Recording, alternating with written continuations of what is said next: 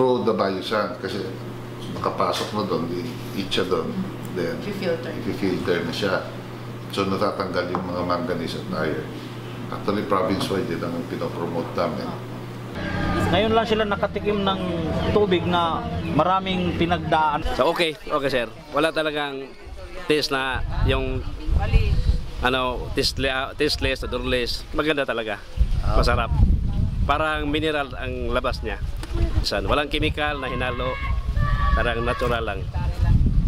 tubig ay buhay Likas na malaya Tingnan mo naman, napakalapit po. so at saka mainom. Ma- masyadong malapit, accessible sa lahat. Kasi ano to eh, apat to na ganito. So yung 200 meters eh wala nang 20 metros ang 50 metros ang naano namin. Kasi meron dito, meron naman doon, meron doon sa pinakamalayo.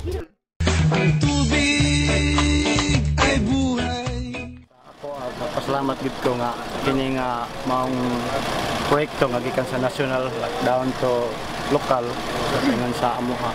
Napasalamat mi nga ang tanan nga gi-implementar sa atong gobyerno nga natagan pud mi og pang adlaw-adlaw namo nga kinahanglan sa among sityo. Tungod kay usa ni siya nga number one nato nga panginabuyan sa atong panglawas. Lisod yun kung wala pa ni nga tubig. Kay layo mi kakuhaan sa tubig sa mainom. Dili kung masinti ang tubig na among ginakuha sa wala pa ni. Ka kalibang sa dugo. Ah, okay. oo mara, mara sige siya maglibang-libang. ma- sakit ang tiyan.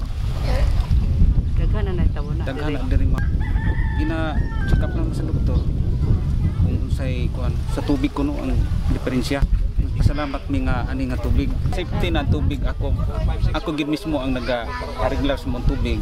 Hmm, wa gig- wa kong paminawan ang mga nagkuha sa tubig. Wala nagi sila gibati silang tiyan. Sa pagkakakuna ana ni siya.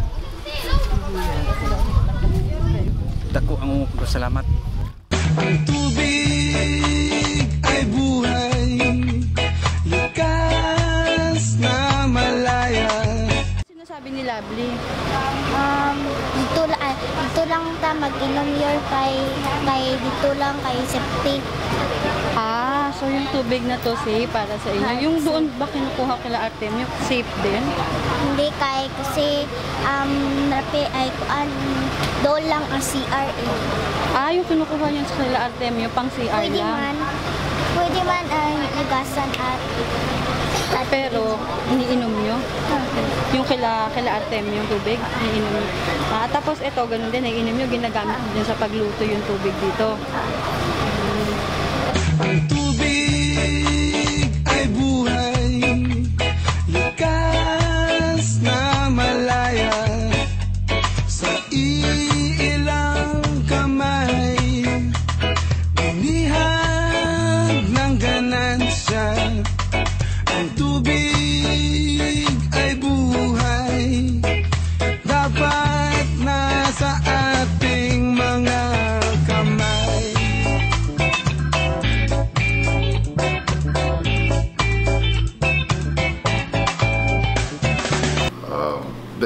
Rainwater collector naman, na-conceptualize siya nung tamaan kami ng Pablo, Bagyong Pablo. Ah, dati kami nagkuha ng tubig dan sa deep well kami.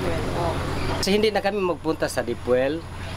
Ah, hindi na kami maghirap pag pagigin ng tubig kasi pag umuulan ah, maraming tubig ah, naipon na tubig. O magana kasi kasi ah, pag noon nung wala wala pa kami ng ah, rain collector ah, mahirap kasi hindi kami maka ah, punta sa ah, farm namin ng maaga kasi magigib pa kami ng tubig. Pero ngayon, ah, okay na talaga. Eh, anytime na magkuha kami ng tubig, ah, nandito na sa aming harapan. O lahat lahat sa yung mga kapitbahay namin na humingi sa amin, bibigyan namin. Salamat po na binigyan kami ng rain collector sa nakaupo na nagha, naghawak po ng rinda sa kagamanan nandoon sa central office. Nagbinigyan kami ng pan para sa kahirapan ng tubig dito sa aming barangay para sa komunidad.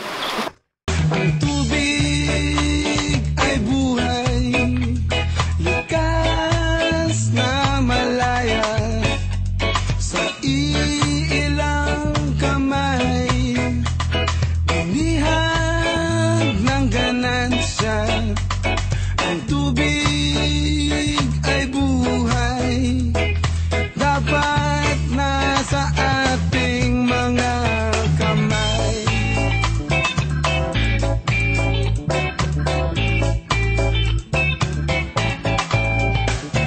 Kung, uh, again, kung merong pagdagdag na PCF, I will put it everything sa water. Water. Puro sa patubig. Isang, isang importante na uh, para sa isang komunidad na maging malusog at progressive. Nasap mo na ba ang sariwang indayong